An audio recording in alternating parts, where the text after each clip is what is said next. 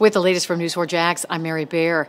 Hours after a Kentucky grand jury brought no charges against Louisville police for Breonna Taylor's death and protesters took to the streets, authorities said two officers were shot and wounded tonight during demonstrations over the killings of black people at the hands of police. The interim police chief said a suspect was in custody but did not say whether the person was participating in the demonstrations.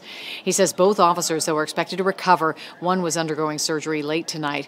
Hours earlier, the city of Louisville and the police department had declared states of emergency. Stores and restaurants had boarded up, and some federal buildings had closed for the week. Demonstrations at other cities around the nation also continued late into the night.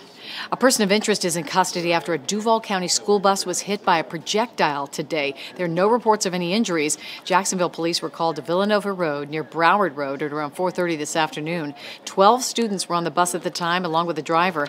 The bus had recently left Highlands Middle School. Investigators say the bus was hit by a BB pellet shattering one of the windows.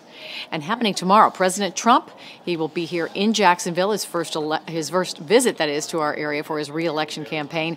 He will host what's being called the Great American Comeback event tomorrow evening at 7. It will be at Cecil Airport. News4 Jax will have a crew there and we'll be sure to bring you the president's remarks live on air and on news4jax.com. Always the latest news online at news4jax.com.